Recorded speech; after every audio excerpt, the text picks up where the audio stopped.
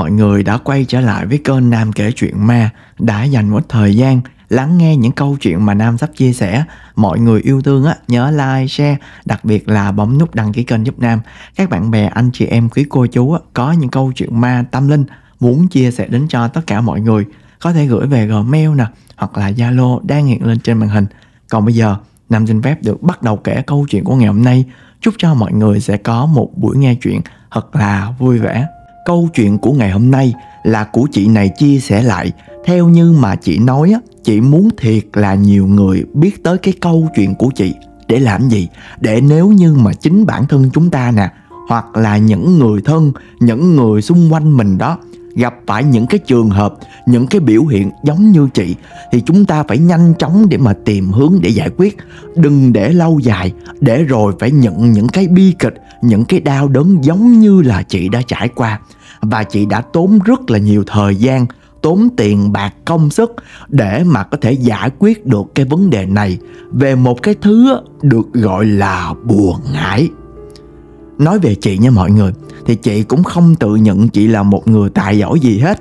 Nhưng mà thời điểm đó thì chị có kinh doanh cà phê và chị có tới hai cái quán luôn.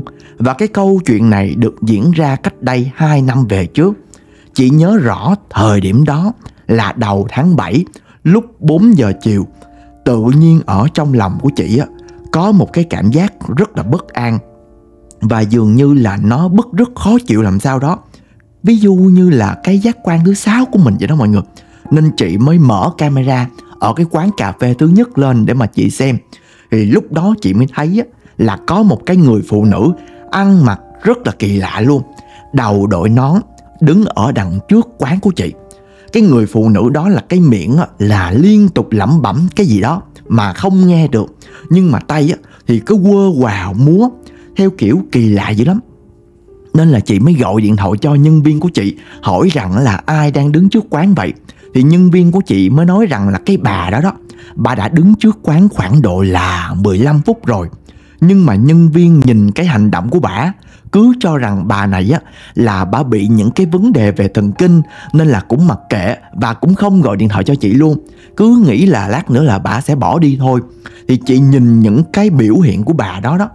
Chị thấy cũng đúng là y chang một cái người thần kinh chị, nên là chị cũng không có quá là bận lòng. Thế nhưng, chị có quay á, chị có chụp lại cái đoạn video đó để mà sau này lỡ có chuyện gì á, thì chị lấy ra để mà chị đối chất. Nó chị cũng thông minh ở điểm này nha mọi người. Thì sau cái sự việc mà cái bà đó xuất hiện ở quán chị, thời gian nó cũng trôi qua khoảng độ 2 tuần, chị có những cái biểu hiện rất là lạ luôn. Chị nhìn thịt cá, sao tự nhiên chị ngán lắm, chị không có muốn ăn. Những lúc mà chị thật sự là quá đói, thì chị phải ăn cơm thôi. Chị ăn đâu đó khoảng độ là ba muỗng cơm. Tới cái muỗng thứ tư là chị nôn ra luôn có nghĩa là không ăn được gì hết. Người của chị bắt đầu xanh xao, tái nhợt lại. Gia đình người thân, nhân viên nhìn chị như vậy á, là cũng kêu chị là thôi, đi khám bệnh thử coi là có bị gì hay không, chứ tự nhiên là không ăn uống được gì hết. Cái chị cũng đi khám bệnh luôn mà khám bệnh thì cũng không ra bệnh gì. Người ta cứ cho rằng là chị bị áp lực công việc á theo kiểu là stress quá nên là chị mới có những cái hiện tượng như thế. Rồi cũng kê thuốc cho chị là chị cũng uống sơ sơ vậy thôi. Nhưng mà tình trạng của chị á nó không thuyên giảm mà ngày càng ngày càng nó nặng. Chị dường như là trở thành một cái người bị uh, tự kỷ trầm cảm. Buổi sáng khi mà chị bước ra khỏi nhà chị rất là vui vẻ. Nhưng mà chị tới quán cà phê để mà làm việc thì chị lại chui vào trong một cái góc. Chị ngồi, chị cứ nhìn ra ngoài không chung như vậy, đơ đững mặt mày ra luôn. Nhân viên nhiều khi đi ngang qua cũng không có dám kêu chị, bởi vì nghĩ rằng là chị đang bận phải suy nghĩ một cái kế hoạch nào đó, có thể là mở rộng kinh doanh hoặc là mở thêm một cái chi nhánh thứ ba. Nên là nhân viên đâu có dám làm việc đâu, cứ im như vậy chị ngồi đờ đẫn từ sáng cho tới trưa. Đến khi mà tới giờ ăn á, là nhân viên mới ra kêu chị, thì chị mới giật mình hoàng hồn luôn. Cũng kêu chị ăn cơm, thì dọn đồ ăn ra chị nhìn. Chứ chị cũng không nuốt nổi một miếng nước hay là một muỗng cơm.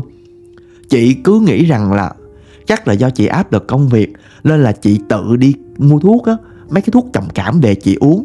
Và càng ngày chị có những cái biểu hiện, chị có những cái giấc mơ lạ lắm chị luôn luôn nằm mơ thấy chị chết. Và những cái chết của chị đều liên quan tới xe tải. Lúc thì chị lái ô tô á, chị bị xe tải tông chết. Lúc thì chị thấy chị đi ở trên đèo á, là xe tải đi ngang quẹt chúng chị, là xe của chị nó bị leo xuống dưới đèo chết luôn. Là những cái giấc mơ về chết chóc nó cứ liên tục liên tục đổ lên trên người chị. Sau đó khoảng độ là 2 tuần nha, thì có một cái chị này tạm gọi là chị Lan chị Lan này á, là một người cũng có quen biết với chị luôn. Và chị Lan có hiểu biết về tâm linh. Thì cái ngày hôm đó là chị Lan có hẹn một cái người khách nào đó tới quán của chị để mà uống cà phê. Uống tầm tới trưa là chị Lan chỉ tính đi về. Nhưng mà khi đó trời đổ cơn mưa. Nên là chị Lan này chị cũng xin phép là chị ho chỉ vào bên trong ờ, quán đó chị ngồi một tí hết mưa thì chị về. Chị ngồi trong cái góc đó nha cái một hồi cái chị mệt quá. Chị ngủ quên lúc nào không hay. Trong cái lúc mà chị ngủ á chị có nằm mơ thấy một cái giấc mơ. Chị mới thấy á, là ở xung quanh cái quán cà phê của chị này á có rất là nhiều những đứa nhỏ. Mà nhỏ ở đây là bông nhi nha. Nó chạy nhảy xung quanh luôn. Thì chị Lan mới hỏi rằng là mấy đứa làm gì mà chạy vào trong quán của người ta? Thì tụi nhỏ này nó mới cười hí hí hí lên. Rồi nó mới nói á, nó được sai tới đây á, để mà đẩy người, để mà xô khách. Khi mà nghe như vậy á, là chị Lan chỉ giật mình tỉnh giấc luôn. Chị mới ngay lập tức là chỉ kể lại cái giấc mơ đó cho chị nghe. Nhưng mà chị, nói thật nha, tâm lý của chị lúc đó là chị quá là nhiều vấn đề đổ dập lên người. Nên là chị cũng không có để ý và cũng không nhớ về cái chuyện mà chị Lan này vừa mới nói với chị chị bỏ qua luôn. Thì đúng thiệt, trong quán của chị bắt đầu xảy ra chuyện. Cái ngày hôm đó đó là có hai đoàn khách tới quán của chị. Cái đoàn khách đầu tiên là có hai người. Thì cả hai người này đều bị té hết. Tới cái đoàn thứ hai là có 10 người. 10 người cũng đều bị té. Thậm chí là họ còn bị chảy xước chảy máu nữa kìa. Khi đó thì chị nhìn, chị hết hồn luôn. Suốt 7 năm trời chị kinh doanh là chưa bao giờ có một cái trường hợp đến như thế. Cái chị mới nhớ tới những gì mà chị Lan đã nói. Chị mới gọi điện thoại cho chị Lan chị kể cho chị Lan nghe. Cái chị Lan mới nói rằng thôi em ơi dù sao là cũng sắp tới uh, tháng 7 âm lịch rồi. Được thì em mua đồ về ông cúng kiến đi. Khi mà nghe như vậy thì chị thấy cũng hợp lý. Thì ngày đó đó là chị với lại là chị Lan đó là cùng với nhau mua đồ về để mà cúng kiến. Thì chị Lan này là chỉ hứa là chị sẽ phụ cho chị cúng kiến thì bài đồ ra hết để mà cúng nha. Chị Lan mới đọc kinh rồi lấy cái ờ, đồ gõ mỏ ra gõ đó. Thì chị Lan vừa mới gõ được mấy cái thôi. Chị này chỉ giống như là phát điên vậy đó mọi người. Chị la hét chị ôm đầu nha chị bỏ chạy. Thì nhân viên nhìn thấy mới quảng quá mới chạy ra giữ chị. Thì chị cứ la chị cứ gào như là một con thú hoang. Sau đó là chị đòi là lấy kéo để mà cắt tóc. Bởi vì chị nói á, lúc đó là trong đầu của chị nghe thấy một giọng nói cái giọng nói đó kêu chị rằng là cắt tóc đi cắt hết tóc đi cắt tóc đi. Nên là ở bên ngoài là chị cứ đòi là mọi người là đưa kéo cho chị để mà chị cắt tóc. Trời ơi, chị Lan lúc đó là chị cũng béo quèo luôn Mà nhân viên trong tiệm cũng sợ. Lần đầu tiên thấy chị có những cái biểu hiện kỳ lạ như thế. Thì thôi đó đó Chị Lan này á, chỉ nhanh trí Chị mới gọi điện thoại cho một người quen Để mà trình bày cái sự việc này. Thì lúc đó Không biết là chị Lan chỉ làm cái gì. Nhưng mà chị lấy một cái thứ nước gì đó, Chị ụp lên trên trán của chị. Thì sau đó là chị nằm xỉu sẽ lai luôn. Chị không còn biết gì nữa hết. Sau cái sự việc đó, thì cái tinh thần của chị á, nó tuột một cách không vanh luôn. Chị không thể nào đi làm được. Lúc đó là trong lòng của chị á, có một cái cảm giác sợ sệt với tất cả mọi thứ. Chị dường như là hình dung trong đầu chị á, là luôn luôn có một cái đôi mắt, có một ai đó dõi theo chị chị nằm ở nhà là chỉ có ở trên giường thôi. Chị như một cái xác chết mọi người. Đôi mắt của chị cứ hướng lên trên cái trần nhà. Hai chân thì thẳng đuột xuống tay thì chắp lên trên bụng cứ nằm im như thế. Cho đến khoảng độ là vài hôm sau thì chị Lan có gặp chị. Chị Lan vừa nhìn thấy chị một cái là cái đôi mắt của chị Lan á, theo kiểu là trợn lên luôn và cái mặt rất là ngạc nhiên. Chị Lan mới vội nắm tay chị á, mới kéo ra một cái góc mới kêu rằng là, em ơi, em hết sức là bình tĩnh nha. Chị có chuyện này chị muốn nói với em. Thì chị Lan mới nói á, là chị nhìn thấy cái đôi mắt của em nó rất là đỏ. Cái ờ, thể trạng của em nó cứ gầy guộc, xanh xao làm sao đó. Mà quan trọng là nhìn nó không có một chút sức sống nào hết trơn á. Với một người có kinh nghiệm lâu năm trong cái vấn đề tâm linh giống như chị á, chị khẳng định luôn, em á em có người hại rồi. Bây giờ là phải nhanh chóng tìm cách để mà giải quyết thôi. Khi mà chị lan nói như vậy á, bản thân của chị á, thứ nhất là chị không chấp nhận việc đó. Thứ hai là chị không tin là trên đời này có bùa ngải. Nên là chị mới đôi ba lời với chị lan. Thì chị lan mới nói rằng bây giờ nếu như em không tin á, là em đi qua nhà chị đi. Chị chứng minh cho em xem. Thì chị đồng ý hai chị em trên đường qua nhà của chị lan đó, thì có ghé mua 10 quả trứng gà so. Chị lan đem về nhà, chị lan luộc lên. Từ đầu tới cuối là chị có quan sát toàn bộ hành động của chị Lan, Nên không có một cái gọi gì là nhúng tay vào 10 quả trứng gà đó hết. Luộc 10 quả trứng xong á, Thì chị Lan chỉ mới bẻ một quả ra cho chị coi. Thì bẻ cái quả đầu tiên ra nha. Cái quả trứng gà đó nó bình thường giống như những quả trứng mà mình từng luộc đó mọi người. Nhưng mà chính quả còn lại Thì chị Lan mới bắt đầu là lăn lên trên người chị. Lăn từ ở trên đầu nè Xuống dưới vai. Xong rồi xuống dưới tay, xuống cổ, xuống mình, xuống dưới chân. Cứ lăn như vậy hết cả chín quả. Rồi bổ đuôi nó ra. Má ơi cuộc đời chị luôn. Lần đầu tiên chị nhìn thấy cả chín quả trứng gà Bình thường á Đã luộc lên. Nó thâm đen hết mọi người. Cái lòng đỏ đó đó. Nó đen mà nó nhớt nhớt, Nó hôi tanh, Giống y chang mọi người tưởng tượng là cái quả trứng bắc thảo gì đó. Còn cái lòng trắng là nó cứ bị li ti li ti những cái đốm đốm xung quanh. Cả chín quả đều bị như vậy. Nếu như mà mình nói á, là cái lô trứng này nó bị hư, thì nếu mà hư thì hư hết 10 quả, chứ làm sao mà lại bị một quả không sao rồi chín quả bị như thế. Đó, thì khi đấy là chị vẫn chưa có tin luôn mọi người. Chị Lan chỉ mới gọi điện thoại cho một cái người quen biết của chị ở bên Thái Lan nha. Đó là một bà cô cũng làm về tâm linh. Thì có gọi theo kiểu là video call á, là cho cái bà cô bên Thái Lan nhìn những cái quả trứng gà này. Bà nhìn một cái, bà mới lắc đầu, bà mới nói á, bà mới nói chị á, bà mới nói với lại là chị Lan là cái người mà bị hại này á, không thể tin được, là hả, ếm nặng tới mức như thế có nghĩa là cái người nào muốn hại chị. Thì cái bà cô bên Thái Lan bà mới nói rằng là không biết là cái con bé bị hại á, nó có giàu có hay là làm ăn phát đạt gì hay không, thì chị Lan chỉ kêu có. Con bé này nó cũng có điều kiện dữ lắm. Thì bà cô bên Thái Lan bà mới nói rằng đó là Cái người ếm đó đó Là muốn cái người mà bị dính đó Phải thân bại danh liệt Là mất hết tất cả luôn. Thậm chí là cái bùa này nó mạnh tới mức mà muốn đổi mạng luôn. Là hại chị tới mức độ như vậy đó mọi người. Thì bà cô đó bà mới nói đó, có thấy những cái người mà hả kiểu như là lột quần lột áo xong rồi chạy ra ngoài đường điên điên dại dại không? Thì chị bị ếm như vậy đó mọi người. Kiểu như là muốn cho chị là tự hủy hoại bản thân cho chị bị điên bị khùng như thế. Nặng thì chết luôn. Còn nếu như mà phước báu của chị nhiều quá thì chị sẽ như thế đó mọi người. Trời ơi không thể tưởng tượng nổi ai lại có thể nhẫn tâm mà ếm chị tới mức đó. Khi mà trình bày ra rồi biết hết mọi sự việc như vậy, thì thật sự là tâm lý của chị lúc đó, nửa tin nửa không tin. Nhưng mà cái phần không tin và cái phần không chấp nhận của chị nó nhiều lắm mọi người.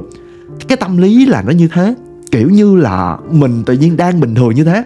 Bao nhiêu chuyện đổ ập lên trên người mình rồi mình không có xịu nào mà mình chịu được cái sự đả kích đó. Rồi mình phát bác rồi mình bỏ đi hết mọi thứ. Đấy là cái tâm lý của chị như vậy. Thì chị mới nói với chị Lan rằng là, chị ơi, bây giờ em rất là mệt mỏi, em rất là stress. Tôi thì bây giờ là hai chị em mình đi ăn uống cái gì đi. Rồi uống một chút rượu vào á, Để cho nó thư thản tâm lý. Thì chị Lan, chị cũng đồng ý luôn. Thì hai chị em mới tới một cái quán bán theo kiểu là đồ nướng, đồ nhậu á mọi người.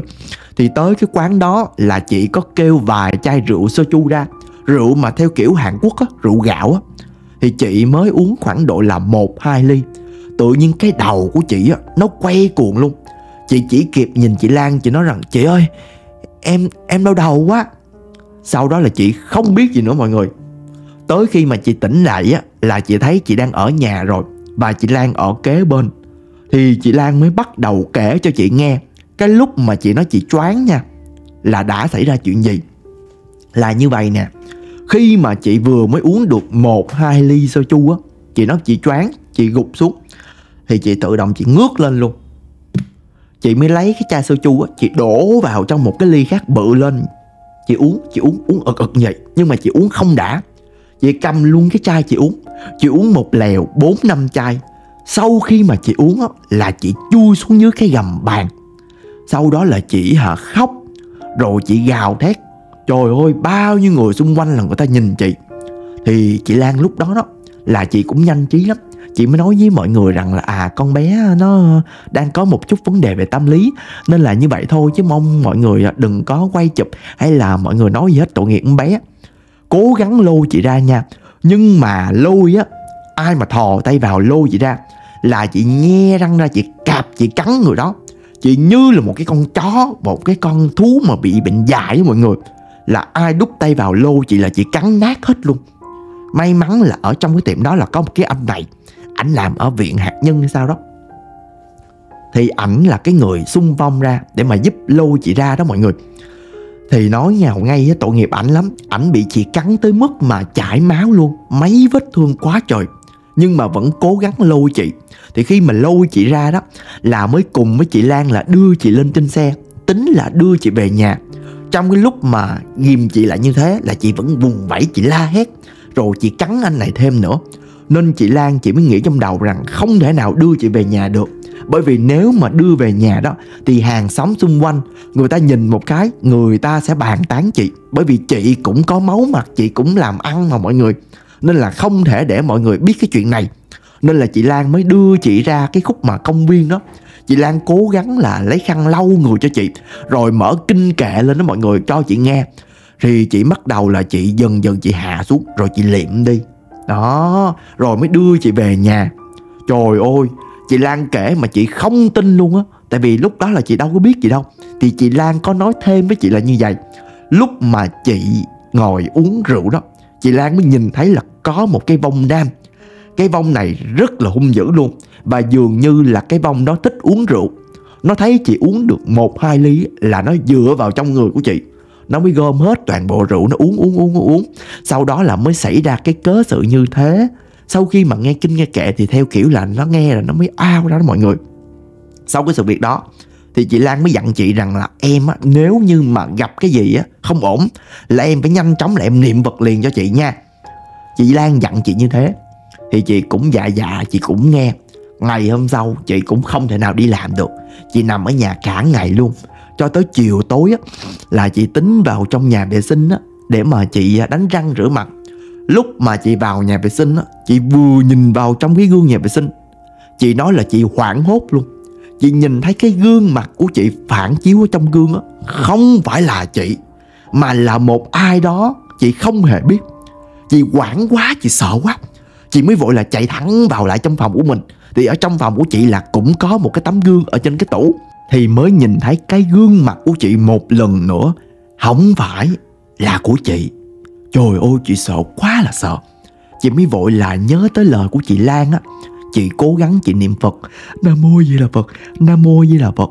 Trong lúc niệm á, thì cái đầu của chị có lấy lên một cái suy nghĩ.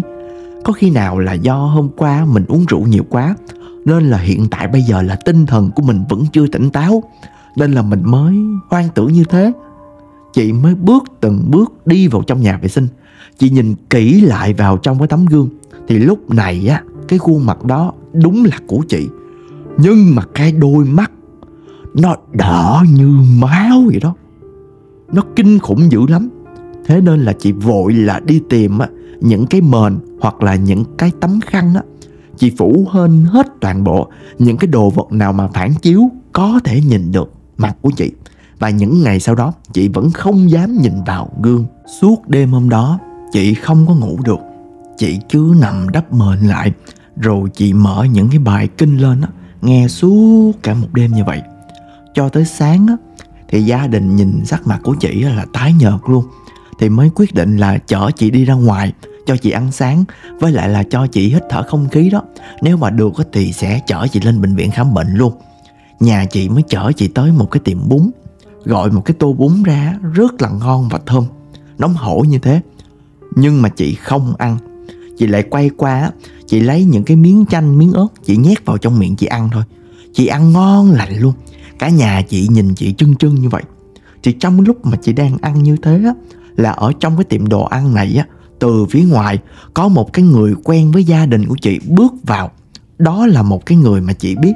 Bình thường chị gặp người đó Thì chị sẽ chào hỏi, Nhưng mà không hiểu tại sao cái thái độ chị á, Thời điểm đó, Chị sợ sệt vô cùng luôn.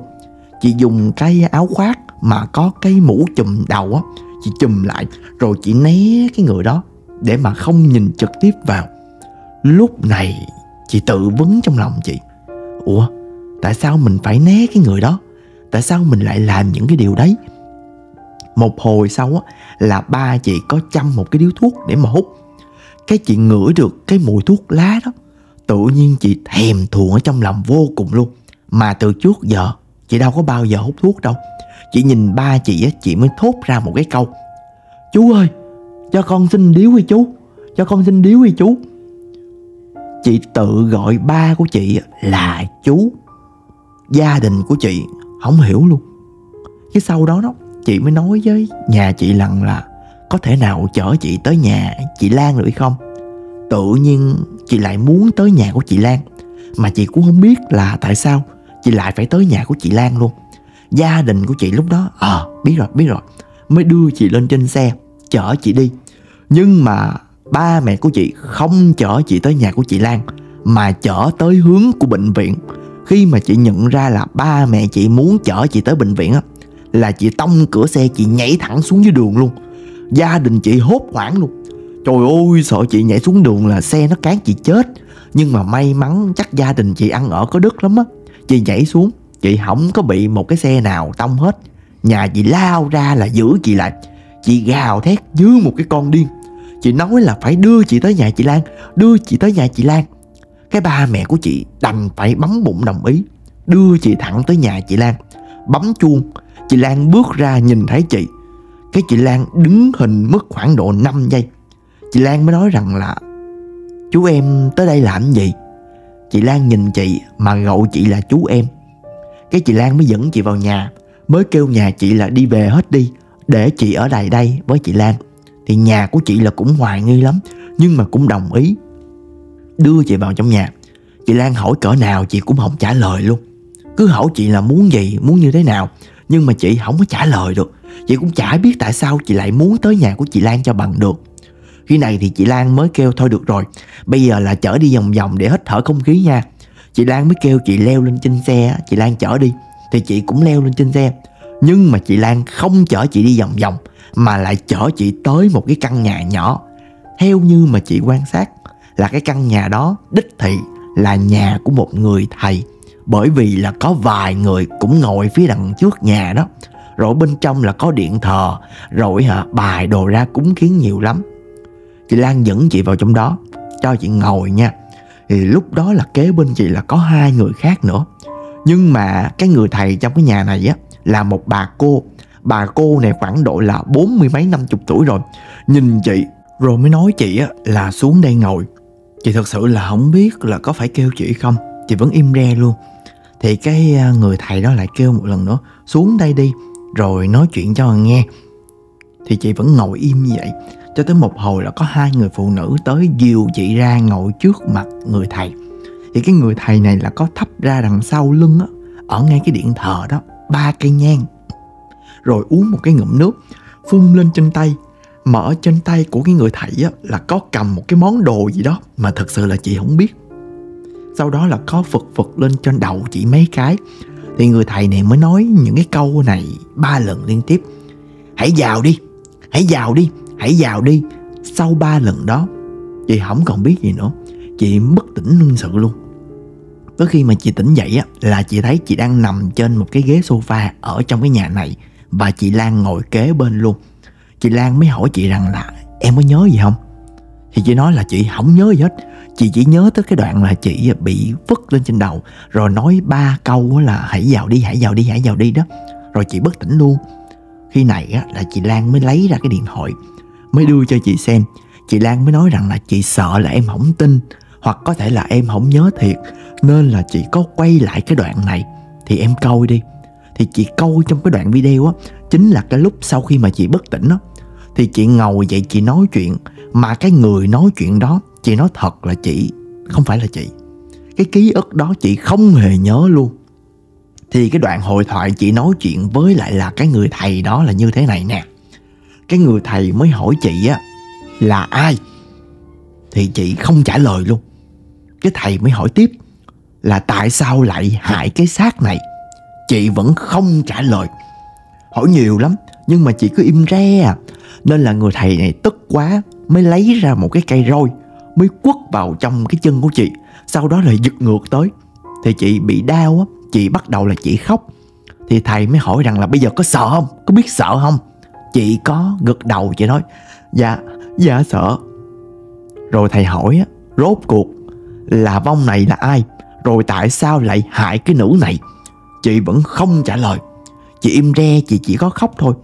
Thì cái người thầy này tức lắm, quát rồi chửi quất nhiều lắm. Một hồi á là chị cũng chịu trả lời nha. Nhưng mà chị không phải nói trả lời cái câu hỏi của người thầy này hỏi, mà chị mới nói rằng là tội nghiệp nó nó đâu có hại ai bao giờ đâu. Thầy nghe như vậy, thầy mới nói rằng, ý là vong nói cái xác này đúng không? Chị mới gật đầu dạ. Thầy hỏi tiếp, vậy tại sao lại đi hại nó? Thì chị vẫn không trả lời mọi người. Có nghĩa là thầy lặp đi lặp lại cái câu hỏi là ai và tại sao lại hại chị. Nhưng mà không trả lời là không trả lời nha. Thầy quất thầy đánh nhiều dữ lắm. Rồi thầy cũng có hỏi rằng là lý do tại sao chết thì cái vong đó nó mới nói rằng là nó bị xe tải tông chết cho mọi người. Lúc mà nghe được cái câu là bị xe tải tông chết thì mới hiểu ra cái lý do tại sao. Chị thường xuyên chị nằm mơ thấy cái giấc mơ mà chị bị tai nạn bởi xe tải đụng đó mọi người. Thầy đánh quá trời là đánh, nhưng mà hỏi thì nó không chịu trả lời mọi người. Dường như là nó có một cái gì đó không thể giải thích được. Thầy làm phép một hồi nha thì thầy mới chụp cái vong này ra khỏi người chị. Thì chị mới bất tỉnh luôn. Cho tới khi mà chị tỉnh dậy á, thì chị Lan mới cho chị xem cái đoạn video đó. Rồi chị mới cùng với chị Lan là ra để mà nói chuyện với người thầy.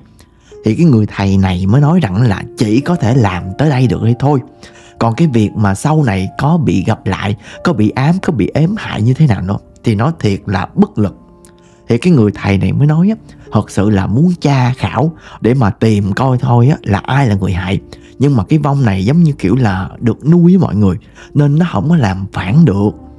Rồi thầy cũng dùng phép của mình đó để mà quán, để mà nhìn về phía bên kia, rốt cuộc là ai? Nhưng mà thầy nói là chỉ nhìn thấy ở bên đó là một màu đen tối thôi. Thì thầy nhận thức được rằng là cái khả năng của cái người thầy này á, không mạnh bằng bên kia. Nên là bây giờ là chỉ đuổi cái vong này đi thôi. Còn phần còn lại là do phước báu của chị. Chị tìm được ai giúp chị thì giúp rồi nếu như mà chị thoát được thì chị thoát, thì mừng cho chị thôi. Chứ thầy là bất lực rồi, chỉ tới đây được thì thôi. Trời ơi, lúc đó là chị đã hiểu được là bản thân chị đã thực sự gặp phải chuyện gì rồi. Sau đó thì chị lan có đưa chị về nhà. Thì chị lan có dặn chị như thế này. Chị lan hứa là chị lan sẽ tìm thầy để mà giải, để mà giúp cho chị đó. Nhưng mà trong cái quá trình mà tìm như thế thì mọi người biết đâu phải muốn tìm thầy là ngày một, ngày hai tìm được đâu. Trong cái thời điểm mà tìm đó, thì chị Lan mới khuyên chị là ở nhà đó, là cố gắng là tìm nước tiểu của con nít. Nhưng mà là bé trai nha, dùng nước tiểu đó để mà gội đầu, để mà giúp cho chị bớt đi phần nào đó. Thì chị nói là khoảng thời gian đó là hai tuần. Chị dùng nước tiểu của con nít, chị gội đầu thiệt luôn. Thậm chí là chị dùng cái bàn chải mà chà toilet đó, chị chà lên trên cái đầu chị luôn lúc đó là chị chả còn biết dơ, biết bẩn là gì nữa. Chị cứ làm cứ làm như vậy. Nhưng mà nói thật là nó chỉ đỡ được một phần nào thôi. Chứ trong tâm của chị á, là nó có một cái nỗi sợ vô hình. Nó cứ vồ vập lấy chị. Chị không có ngủ được, chị ăn không ngon, chị thao thức rồi có một cái cảm giác là ai đó luôn luôn nhìn về phía chị và đi theo chị. Cho tới khi mà thời điểm lúc đó là gần tới ngày rằm nha chị trở nên cồn cào thèm ăn ớt tới một mức lạ thường luôn.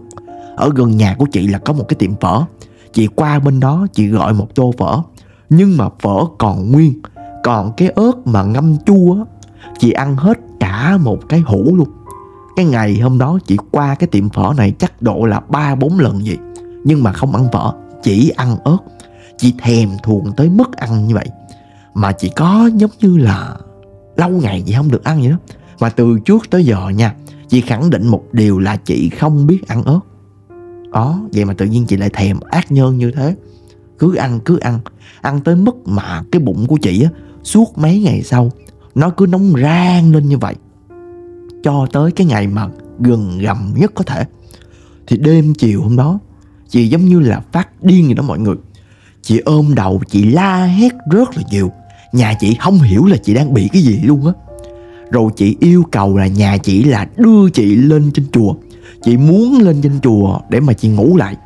Cái nhà chị cũng bất ngờ lắm. Ủa là sao tự nhiên lại đầu lên trên chùa ngủ là sao? Nhà chị đâu có đưa chị đi đâu. Tại vì cái tính tình rồi cái thể trạng của chị lúc đó quái dị lắm. Như thiệt là một con điên vậy đó mọi người. Hưng xác thì như cái con thay ma, ốm mo gầy mòn, hôi thối thì nhà của chị á là mới vật lộn với chị mới đưa chị lên trên phòng nhốt chị lại. Chị với lại là người nhà chị lúc đó là tác động vật lý với nhau luôn có nghĩa là xô xát á mọi người. Chị la chị gào quá trời là ha. Cho tới khi mà người nhà của chị á, dùng một cái khăn thấm nước tiểu ập lên trên đầu của chị thì lúc này là chị hết bảy vùng nha. Nhà chị khóa chị ở bên trong phòng. Cho tới khi mà gọi chị Lan á kêu chị Lan tới nhà thì chị Lan vào bên trong phòng á, chị Lan mới đồng ý với cái yêu cầu của chị là đưa chị lên trên chùa. Đưa chị lên trên chùa. Lúc mà lên trên chùa đó, là những vị sư với những người phật tử á mọi người, là đang ngồi ở chánh điện để mà đọc kinh. Trong cái lúc mà đọc kinh như vậy á, là có những cái tiếng chuông. Cái tiếng chuông nó đánh tới đâu nha? Là tự nhiên nước mắt chị rơi tới đó chị cảm thấy là đau đớn, bất hạnh, tủi nhục. Nói chung là những cái nỗi đau á, nó ồ ạt lên trên người chị. Chị cứ khóc thôi. Chị cứ khóc là rướm rướm nước mắt như vậy.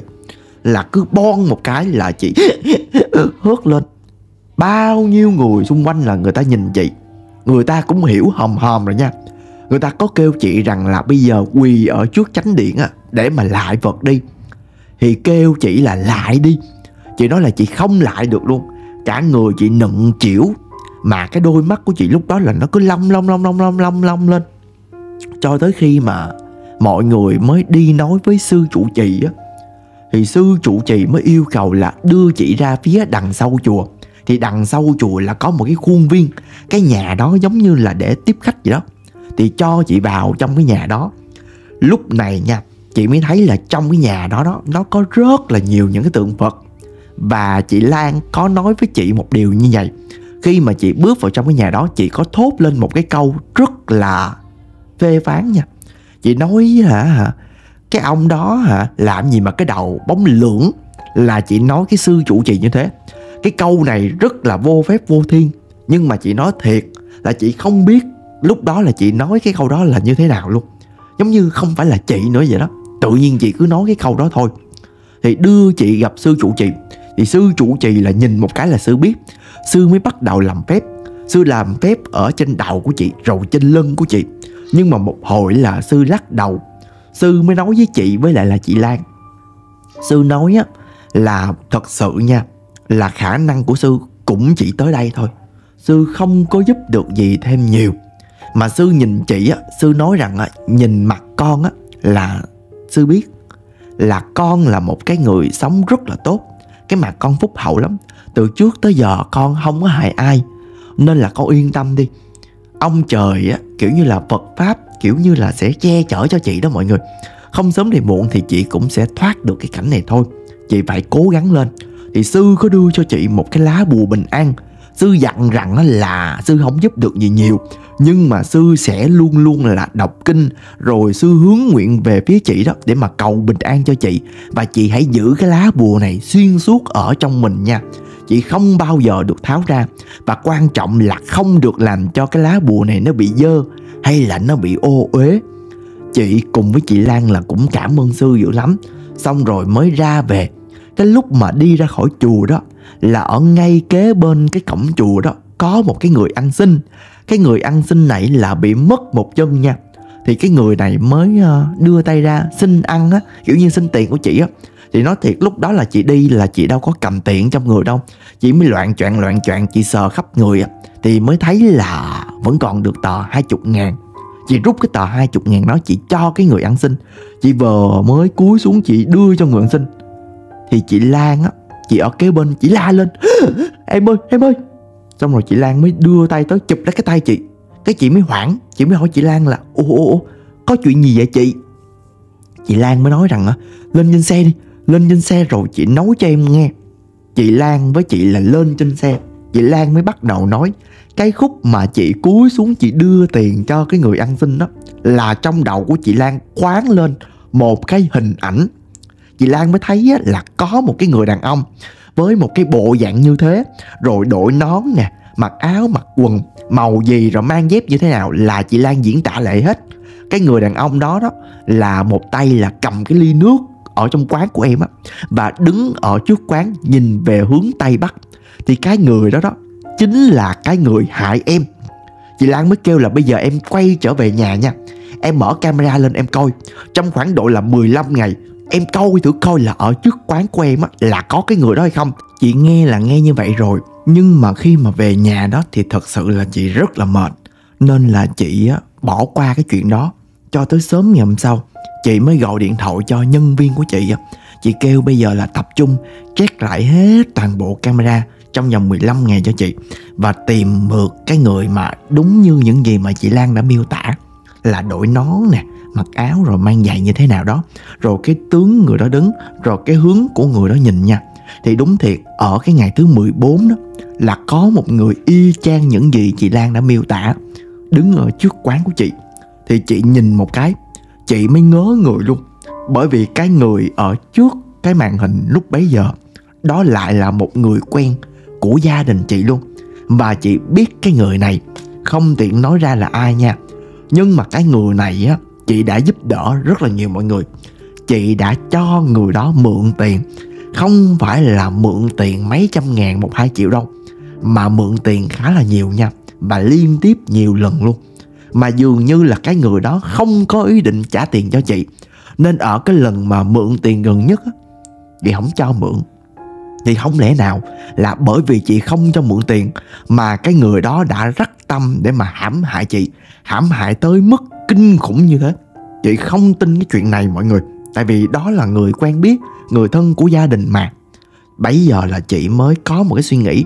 Chị muốn xác định coi có thật sự đúng hay không á. Chị mới nhớ tới một cái ông bác này. Ông bác này ngày trước đó rất là giỏi về phong thủy và những cái chuyện tâm linh. Ngày hôm sau á, thì chị có đi tới nhà của người bác đó. Đó là một cái căn nhà cấp 4 ở một cái vùng ngoại ô khi mà chị tới đây nha. Từ ở phía ngoài cổng là chị thấy ông bác, ổng ngồi trước cái sân ở trên cái bàn á. Thì trên cái bàn đó là có một cái ấm trà cùng với lại là vài cái ly. Chị mới bước vào trong sân, bác này mới quay ra nhìn chị, mới kêu chị là dừng lại đi. Bác mới nói rằng là, cháu có thấy ở phía đằng trước có một hàng cây màu gà hay không? Bây giờ ra đó đứng đi rồi dậm chân ba cái, hãy hẳn đi vô đây. Thật sự là chị không hiểu gì hết, nhưng mà chị vẫn nghe theo lời của bác này.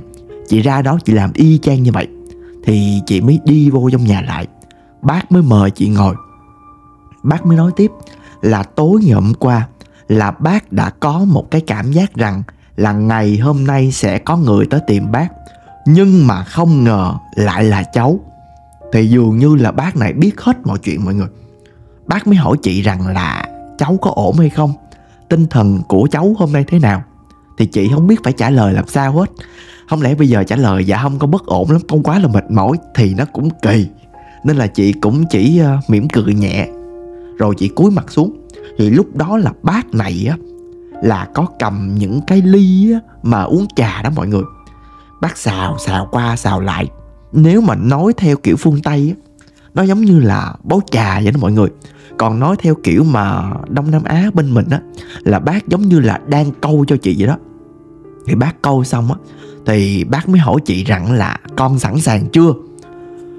Chị cũng không hiểu luôn, nhưng mà chị dạ chị nói dạ rồi.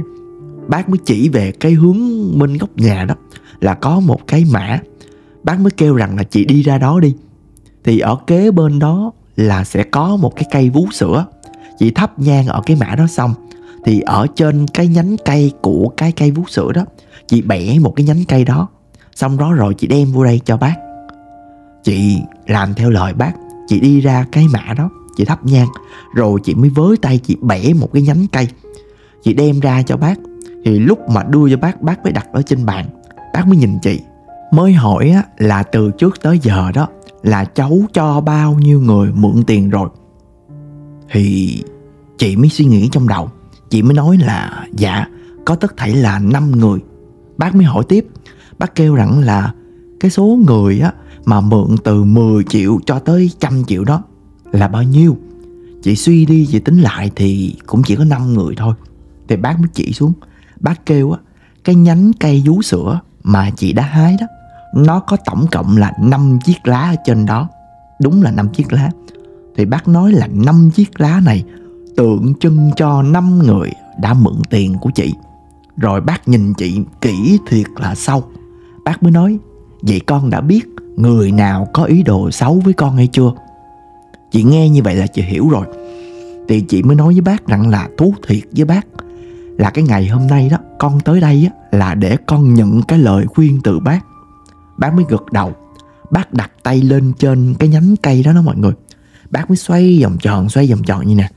Bác dơ lên một cái là có một chiếc lá ở trên cái nhánh nó nó rớt ra. Thì bác cầm cái chiếc lá đó lên. Bác bắt đầu là bác soi. Bác soi, bác coi. Bác mới nhìn chị. Bác mới miêu tả cái người đó. Bác mới nói á, cái người đấy đó là một cái người đàn ông dáng đậm người, đi rất là thoăn thoắt mồm miệng thì lanh lợi thì bác miêu tả cái người đó y chang cái người mà chị quen biết. Thì bấy giờ là chị khẳng định luôn, những gì mà chị Lan đã nói với chị và bác này đã nói với chị đều quy chụp về một người hết. Và cái người đó chính là tác giả của tất cả những cái chuyện này. Chị cũng cảm ơn bác nha. Thì bác cũng hỏi chị lại một lần nữa là con biết người đó là ai rồi, đúng không? Thì chị cũng dạ dạ gật đầu. Thì bác nói thêm nha, bác nói rằng là bác chỉ xem được tới đây thôi, còn lại là bác không có giúp được gì hết. Bác nói là nhìn thấy chị á, cái mặt của con á, phước đất nhiều lắm, nên là con yên tâm đi, mọi chuyện rồi cũng sẽ qua thôi. Chị cảm ơn bác rất là nhiều, sau đó là chị ra về nha, ở trên xe đi về đó. Thì chị suy nghĩ từ trước tới giờ, chị là một người rất là tin vào nhân quả. Chị tin rằng chị ăn ở hiền lành, chị giúp đỡ nhiều người, nên chắc chắn rằng chị sẽ tai qua nạn khỏi bởi cái chuyện này thôi. Khi này chị về nhà rồi mọi người, Suốt mấy ngày liên tiếp, Tự nhiên cái tinh thần của chị ổn định lại một cách rõ rệt luôn. Nhưng mà ông bà của chúng ta thường hay nói đó Đó chỉ là sống yên biển lặng Trước một cơn bão lớn. Và Nam xin phép được tạm dừng câu chuyện lại tại đây. Bởi vì cái câu chuyện này nó rất là dài mọi người. Nếu mà kể hết một lần á, chắc khoảng độ là 5-6 tiếng luôn. Nên là Nam sẽ chia ra làm nhiều phần khác nhau. Và mong rằng mọi người sẽ tiếp tục đón nhận những cái phần chuyện tiếp theo của câu chuyện này. Xin chào tạm biệt và hẹn gặp lại vào những câu chuyện lần sau.